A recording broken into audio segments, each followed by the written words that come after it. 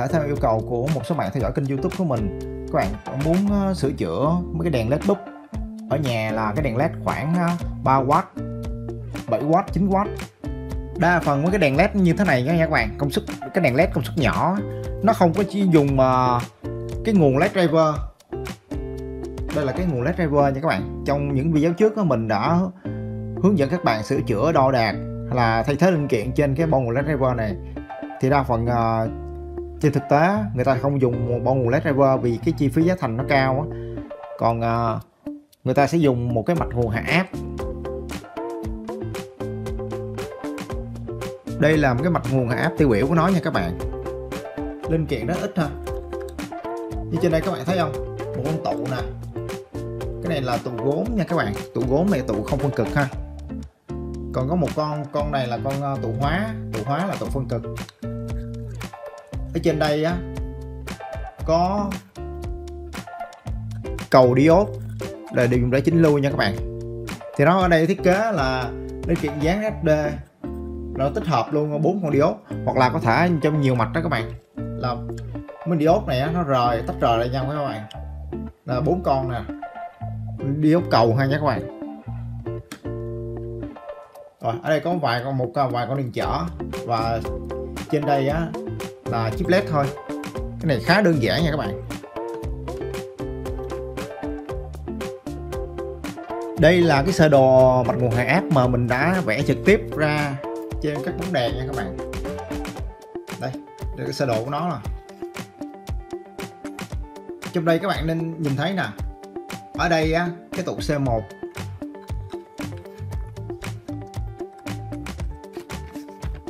cái tụ C1 đây nè các bạn tụ màu đỏ ha. Cái này là tụ gốm nha các bạn. Cái tụ này không không không, không phân cực nha các bạn. Để cho dòng bằng AC đi qua nha cái tụ này. R1 là nó bắt song song với cái tụ này. Là linh kiện nằm bên đây đây nè các bạn. Nằm mặt bên đây ha. Thì các bạn có thể dùng đồng hồ VOM các bạn đo ha. Thì nói chung mình vẽ trực tiếp là thôi. Sau đó nó sẽ đi qua cái cầu diode. Cầu diode là con này là IC chỉnh lưu nha các bạn. Nó tích hợp bốn con ờ, uh, diode rời ra. Nó tích hợp thành một con nha. Đây cầu diode nè. Tiếp đến á, nó sẽ lọc nguồn nhờ cái tụ C2 tại vì sau cái điện áp này á cái chỗ trên trên cái tụ C1 nè các bạn. Qua đây là còn uh, dòng AC nhưng mà qua cái cầu chỉnh lưu này á nó còn nó, nó chuyển chỉnh lưu từ ờ, dòng AC thành DC nó được lọc nguồn bởi cái tụ C2 này tụ C2 chính là cái tụ hóa nha các bạn cái tụ phân cực ha. Đây. Đây là con tụ C2 sau đó sẽ có một cái con điện trở R2 á, nó mắc song song với tụ C2 đồng thời á, nó mắc song song với nguyên cái dãy led này các bạn. Đây nè từng con. Ở đây là mấy cái dãy chip led dán 200D thì những cái mạch như vậy á nó nằm bên trong các đèn led 9W nè các bạn. Đây, mấy cái đèn led 9W led búp 9W hoặc là mấy cái đèn led 7W như cái đèn này. Đây là led 7W nha các bạn. Hoặc những cái đèn led 3W là cái đèn nhỏ nhỏ nè. Đây là những đèn led 3W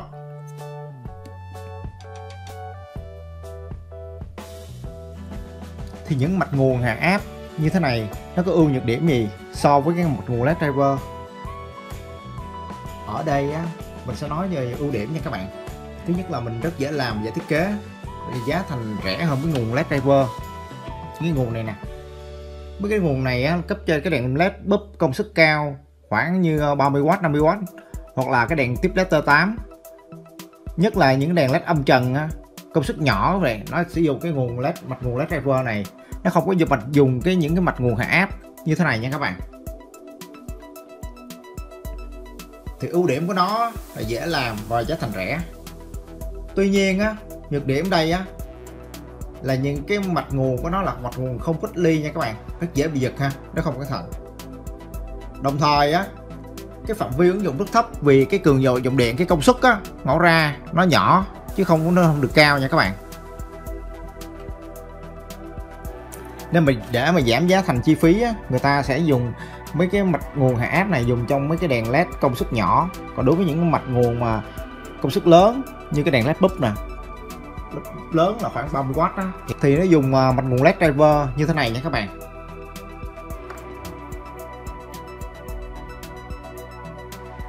Cái nguyên lý hoạt động đây cũng đơn giản thôi. Các bạn nhìn vào sơ đồ nè. Cái tụ C1 là nó cho cái dòng AC đi qua thì nhờ cái tụ C1 này nó hạ trực áp trực tiếp từ cái nguồn 220V thì cái tụ C1 này điện áp nó sẽ gánh khoảng ví dụ như ờ, cái điện áp cỏ ra của các bạn á các bạn cần cái điện áp khoảng 12V hay 24V hoặc hoặc 36V gì hay gì bao nhiêu V đó thì các bạn có thể cái tụ C1 này các bạn có thể tính toán được cái giá trị. Thì trong video trước á, mình đã hướng dẫn các bạn cái cách mà các bạn design các bạn thiết kế ra một cái mạch nguồn hạ áp mà các bạn dùng tụ C1 nè tính toán giá trị nhờ cái điện áp nó ra nha các bạn.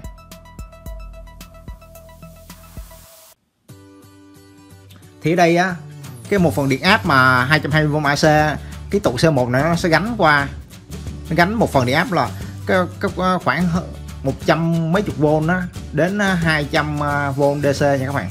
Cái này thì cái này tùy theo mình thiết kế mạch thôi.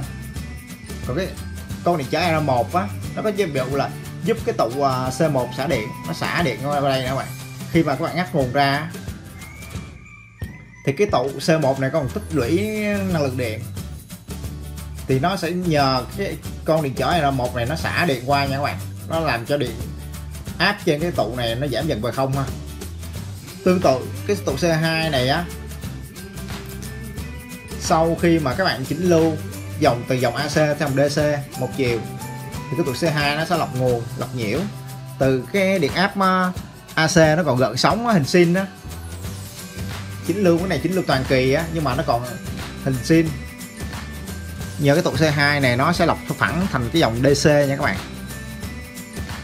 Nói chung là dòng DC các bạn càng phẳng càng thẳng thẳng hàng một hàng á, là càng tốt. Chứ đừng gợn sóng gợn sóng nha các bạn. Cũng nhờ cái tụ C2 này. Còn cái con R2 á nó cái nhiệm vụ á chứ thành tải giả. Chứ thứ hai là nó giúp cái cái tụ C2 này nó xả điện qua nha các bạn. Chờ tắt nguồn á thì R, có con điện trở R2 nè cái tụ C2 nó xả điện qua nó làm cho cái điện, điện áp trên tụ C2 bằng không luôn. Nói chung cái con R1 R2 tác dụng tương tự nhau là giúp cái con tụ C1 với C2 nó xả điện nha các bạn. Thì ở đây á, các bạn muốn sửa chữa cái đèn led như thế này nè nói chung là khá dễ dàng so hơn so với các bạn sửa cái bông led driver ha nha các bạn. Ở đây mình có lưu ý một số điều mà các bạn cần nên ờ, biết để mà các bạn có thể sửa chữa được. Các bạn nên nhớ nè cái đây á cái một nguồn hạ áp á là cái những cái mạch nguồn không cách ly nha các bạn. Tại vì nó không dùng biến áp nó dùng cái trực tiếp từ cái nguồn dòng điện 220V nè. Truyền thẳng vào đây luôn. Nên các bạn phải tuyệt đối cẩn thận cho mình. Các bạn không khe không cẩn thận là bị giật. Đặc biệt là cái điện áp ờ, trên tụ nè các bạn. Nó còn uh, AC với là cái điện áp này nó gắn khá cao nha các bạn. Khoảng ờ, một trăm mấy chục v đến 200 v á. Nên các bạn đụng vô là giật liền nha các bạn. Nên các bạn cái này cũng khá nguy hiểm nha. Tuyệt đối là các bạn phải cẩn thận cho mình. Còn cái cách mà cái các bạn kiểm tra khi mà các bạn có một cái đèn à, led bút như thế này, mà nó bị mất nguồn hay à, làm một vấn đề gì đó mà cái chip led này nó không sáng, cái đèn led không sáng các bạn, thì các bạn kiểm tra như thế nào? Ở đây mình sẽ liệt kê là bốn bước mà để các bạn kiểm tra. Sửa chữa cái đèn led à, công suất nào 3W 7W 9W này các bạn. Cái bước thứ nhất á là các bạn kiểm tra chip led cho mình.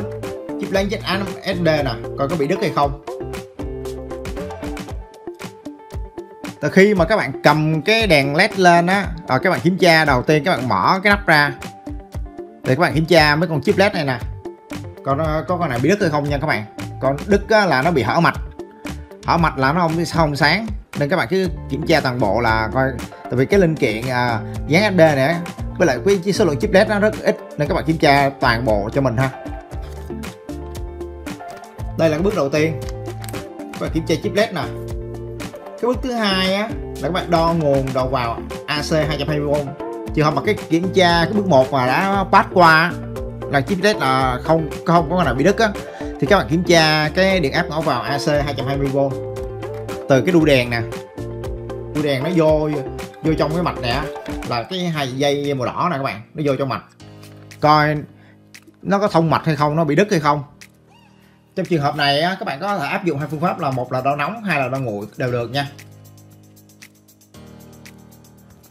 Còn bước thứ ba các bạn tiếp tục đo cái điện áp AC trên hai đầu tụ gốm C1 tại vì trường hợp á mà có cái điện áp AC ngõ vào 220V nhưng mà cái tụ C1 này nó bị nổ tụ nha bạn nó bị đứt á.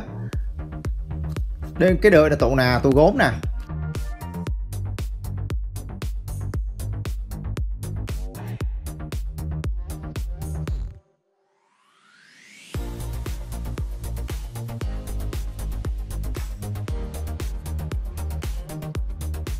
Thì các bạn kiểm tra cái cái, cái tụ C1 nha các bạn đo điện áp AC cho tụ C1 coi có hay không nha đây là cái bước thứ ba.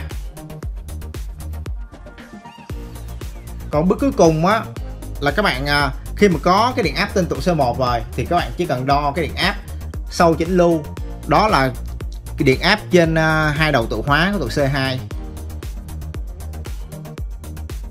khi mà các bạn đo điện áp AC có, điện áp trên tụ C1 có, cái cuối cùng còn lại mà cái chip led có thì cuối cùng là các bạn chỉ kiểm tra đơn giản cho mình cái này thôi. DF trên tụ C2 có hay không?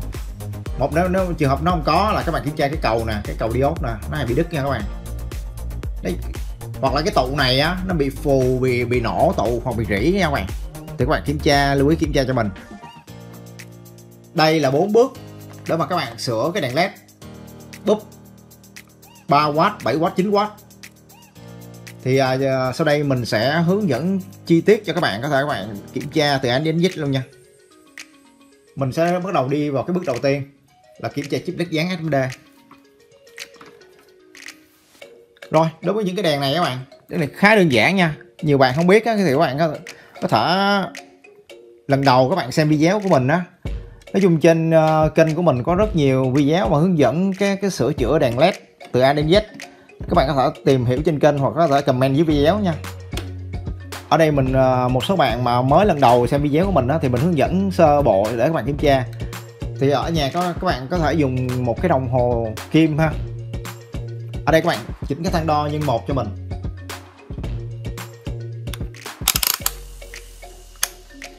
Đây nhân một các bạn các bạn không cần cứ coi giá trị. Tại vì trên trong đây á, là có cái ờ, hai cục pin tiểu. Một cục pin là ba phẩy một phẩy một phẩy năm v thì hai cục pin là 3 v nó mắc nối tiếp nha các bạn thì mình lấy cái, cái cái nguồn bên trong á mình sẽ test ha.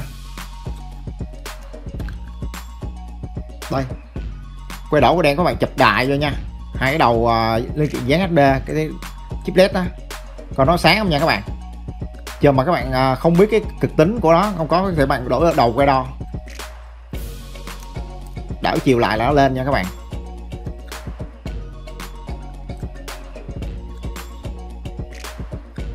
Đây là nó là sáng không? Nó dùng chip led này á cái này mấy con này mắc nối tiếp nhau nha các bạn. Là nó sáng hết nè. Các bạn kiểm tra toàn bộ là trên ờ, uh, vĩ phím này vĩ led á. Coi nó tất cả chip led này nó sáng hết hay không? Nó không sáng là mình đây là trường hợp mà nó không sáng là nó bị đứt nha các bạn. Đó các bạn kiểm tra sơ toàn bộ hết ờ, chip led cho mình nha. Rồi, vậy là ok nha các bạn. Mấy chip led này sáng hết nha. Thấy không? Như vậy á, cái bước mà bước 1 kiểm tra chip led dán MD là ok. Bắt qua nha các bạn. Mình sẽ bắt qua ờ, thứ hai các bạn đo nguồn và nó vào AC 220V thì đó là sao? Thì các bạn có thể đo nóng mà nhiều bạn à, không khéo tay á thì à, mình nên à, hướng dẫn các bạn kiểm tra đo nguội thôi chứ đừng đo nóng nha các bạn. Thì đo nóng á, các bạn bật cái thang đo khoảng 224 AC chuyển qua thang đo này. Rồi bạn đo cái điện áp nè cái cái dây mà dây từ cái đuôi đèn á xuống cái bo mạch này nè. Đây là hai dây này nha các bạn hai dây màu đỏ nè. Đây hai ngõ cái dây ngõ vào AC ha còn trường hợp à, các bạn à, không quen thì các bạn có thể đo tổng chở đo nguội thôi. Ở đây các bạn dùng dùng vẫn giữ nguyên cái thang đo nhân một cho mình nha. Này các bạn chích nè. Nó có hai đầu nha các bạn một đầu bên đây nè các bạn chích vô. Mình chích vô hai cái một trong hai dây dây, dây, à, dây đỏ. Còn nó có ai có nó có thông mạch không nha các bạn? Nè các bạn kiếm nó lên nè. Có thấy không? Kín nó lên là thông mạch là ok. Là cái nguồn từ nguồn khi mà các bạn cắm cái đuôi đèn vào á cái nguồn từ nguồn à, 220 AC nó sẽ vô thẳng vô vị trí này luôn nè. Đó các bạn kiểm tra hai đầu luôn nha các bạn. Đây nè cái que đo các bạn chấm dưới đây nha chấm một cái đầu giữa này nè và cái đầu viền bên ngoài. Các bạn chích vô một trong hai à, chân của nó thôi. Còn nó lên kim luôn nha các bạn nè các bạn thấy lên kim không? Nhích kim nhích đó. Nè rồi vậy là ok nha các bạn. Có nghĩa là cái cho cắm cắm cái đuôi đèn vô là cái cái đèn led này nó nó sẽ có cái dòng à, AC 220V vô đây.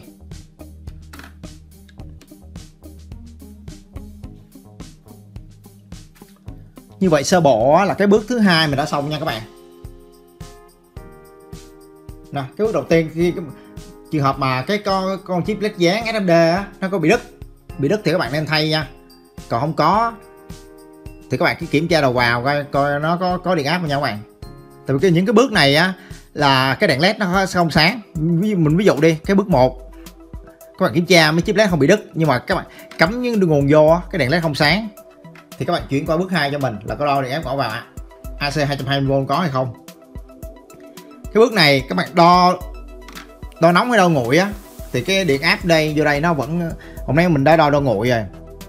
Nó vẫn có vô đây là cái bước 2 là cái điện áp này đã có rồi nha các bạn. Còn cái bước 3 các bạn đo điện áp trên hai đầu tụ gốm C1 coi nó bị đứt, đứt cái tụ này bị đứt hay không nha các bạn.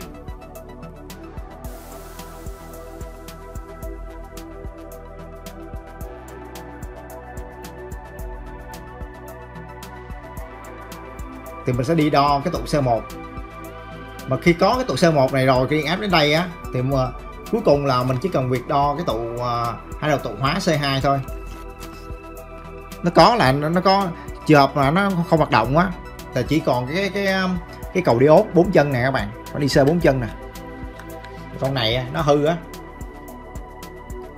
Nó hư thì nó khó, mất cái điện áp cấp cho cái tụ C2 làm cái dãy led để sáng thì các bạn cứ đi uh, tiếp theo là đi mình đến bước 3 nha các bạn.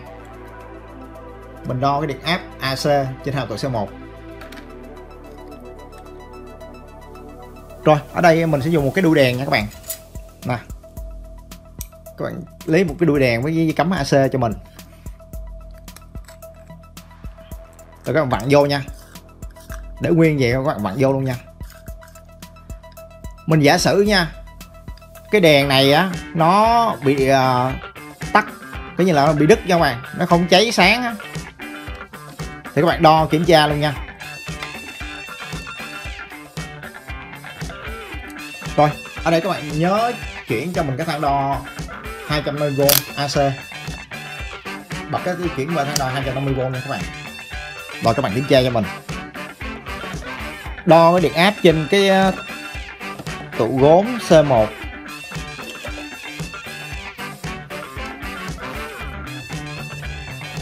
nè mình sẽ đo tiến hành đo cái tụ gốm đĩa áp trên tụ gốm C1 nha. Coi trường hợp mà tụ gốm C1 bị đứt á bị nổ tụ á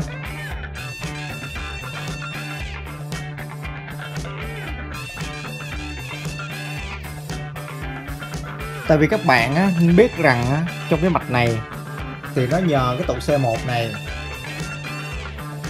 nó sẽ hạ điện áp rất lớn nha các bạn.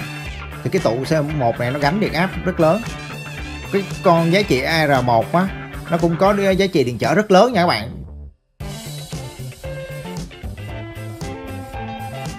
Còn đối với những mạch mà nó sử dụng biến áp á, thì do cái biến áp của mình á, nó cấu tạo bên trong là cuộn dây, thì nó dùng ờ, cái biến áp nó thể có thể hạ áp nha các bạn, như từ 220V á. Các bạn hạ áp trực tiếp xuống còn ờ, khoảng 12V hay 24V á, thì cái này là nó dùng là cái mạch này ờ, mạch à, cách ly nha các bạn. Nguồn cách ly.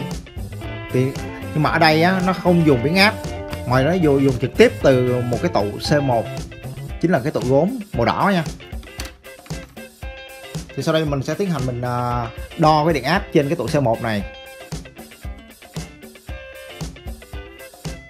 Rồi tiếp theo đây mình sẽ lấy một cái ổ cắm nha các bạn. Đây là cái ổ cắm điện ha. Rồi các bạn cẩn thận cho mình nha. Cái này tại vì cái nguồn này á là nguồn ờ, không cách ly. Nên các bạn làm không cẩn thận nó bị giật điện liền nha các bạn. Các bạn set nha. AC 220V ở chi mình chuyển ra 250V nha.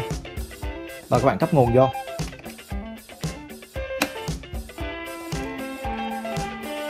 Tránh chạm đụng chạm vô đây nha các bạn. Nó giật liền á. Rồi bạn bật đèn lên nha mình giả sử nha, cái đèn này á, nó không có sáng nha các bạn. Nó hư. Rồi, các bạn tiến hành đo cái điện áp cho mình. Cẩn thận nha, bạn có thể bị giật nha. Đo điện áp AC trên ờ, tụ C1 rồi các bạn thấy không? Cái kim của mình á nó lên quá 210V AC luôn. Nè. Cái tụ gánh, cái tụ này á, nó gánh có 210V AC luôn nha các bạn.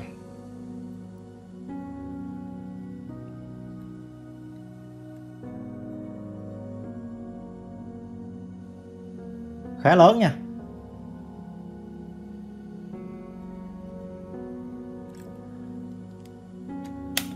Rồi. Như vậy á là cái bước 3 mình đã có rồi đúng không? Nè, cái bước 3 khi mà các bạn đo á mình giả sử cái ờ, đèn này nó tắt thì các bạn nếu trường hợp đi các bạn đến bước 3 đo rồi á nó có điện áp rồi nó khoảng 210V ờ, AC rồi thì các bạn bước qua bước 4 cho mình nha. Trường hợp mà cái đèn không không sáng các bạn đo cái điện áp DC này nè trên hai đầu tụ hóa C2 cái tụ hóa xa cái tụ này các bạn? Tụ màu đen này nè. Tụ phân cực nha. Thì ở đây á, tùy cái điện áp mà ngõ ra nó bao nhiêu. Ở đây thì tại vì à, cái à, cái tụ này á nó gánh cho mình cái điện áp khoảng 210V AC rồi. Thì mình sẽ chuyển và nó mình đoán là dự đoán là cái mạch nguồn này à sau khi chỉnh lưu á nó dưới điện áp 50V DC thì mình chuyển qua cái mức 50V DC cho mình. Đây. Hoặc là các bạn không biết á các bạn nhìn vô cái điện áp trên tụ nè. Tí tí mình nói sau nha. Mình sẽ chuyển vào cái thang ờ, đo 50V DC rồi. Bạn tiến hành nha que đen á, thì các bạn chập vô chân trừ nha các bạn. Chân trừ của tụ nè. Que đỏ các bạn chập vô chân ờ, dương của tụ nha cái tụ này tụ phân cực nha các bạn. Để các bạn rồi các bạn bật nguồn lên. Rồi các bạn đo nhìn cái điện áp để đo khoảng nhiêu bao nhiêu v nha các bạn.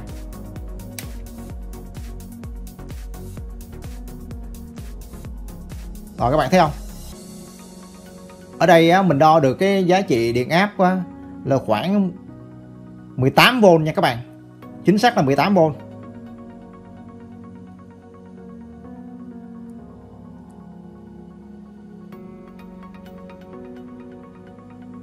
là đúng của nó 18V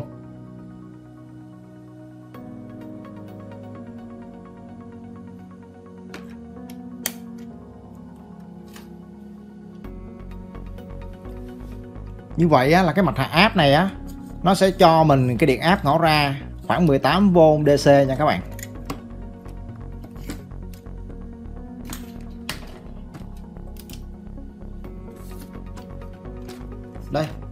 Đo được cái đẹp. Ngõ ra nè. V của mình ở đây á, nó sẽ bằng 18V nha các bạn. V out nè. Bằng 18V cái 18V này á, nó đúng chính xác ờ, với ờ, cái mà người ta thiết kế nha các bạn. Rồi các bạn nhìn trên bao mạch đó và thấy có mấy con led? 6 con led thôi. 6 con led này nó mắc nối tiếp nhau đây là 6 con.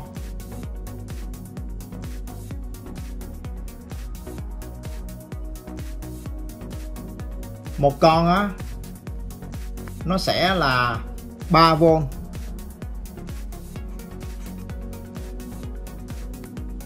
thì 6 con cái này các bạn, nó sẽ là 18V nha các bạn. VA nó ra. Chính là cái VB này các bạn. Hai cái đầu à, ở đây nè. Hai đầu tụ C2 chính là cái VAO nó ra luôn nha các bạn. Ở đây mình có 6 con led thì mình tính đo, đo trực tiếp luôn. Mình tính được đo được là 18V DC chính xác luôn nha các bạn.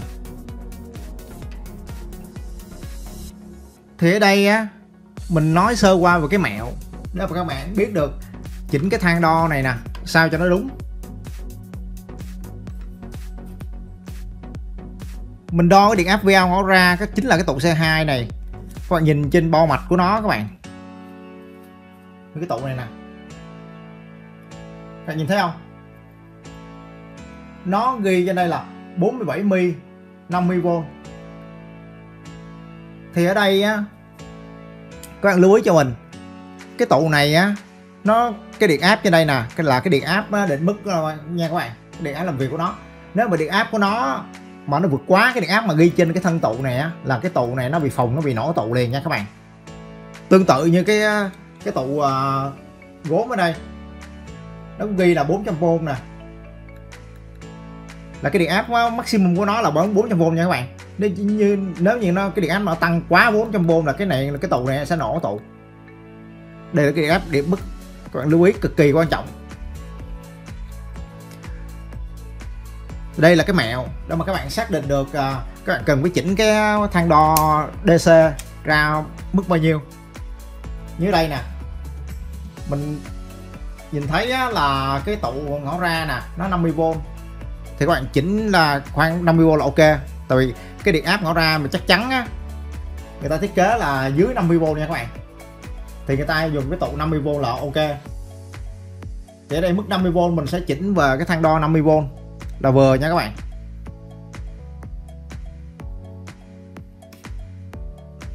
Đây là đối với những cái đèn à, led búp công suất 3W còn đối với những cái đèn à, led búp mà công suất lớn hơn thì sao?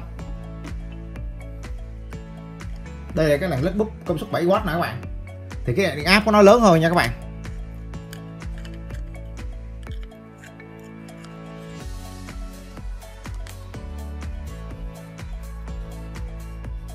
Và các bạn thấy gì thấy không?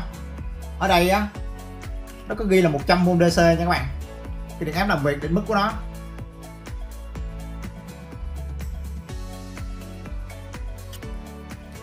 Thì khi mà các bạn đo cái điện áp trên ờ, cái tụ C2 này nè.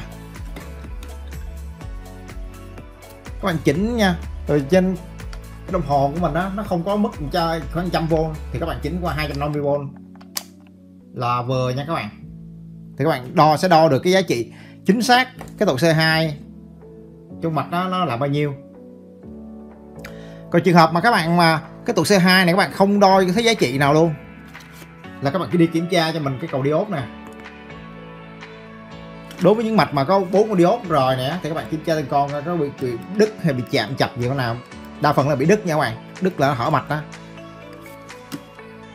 Nè cái điện áp nó ra nó nhờ cái cầu diode này nó chỉnh lưu ha nếu, nếu mà cái phía trước này nó ổn là cái nghĩa là C1 có điện áp rồi.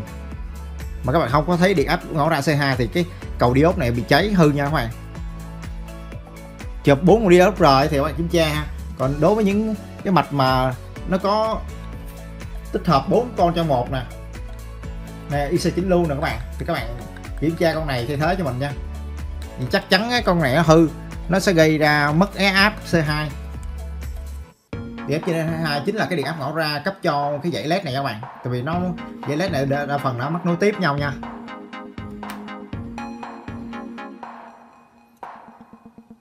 Rồi và là video này á, mình đã hướng dẫn các bạn cái cách mà các bạn sửa chữa cái uh, mạch nguồn hạ áp từ nguồn 220V AC bên trong các đèn led búp cái công suất khoảng 3W là 7W 9W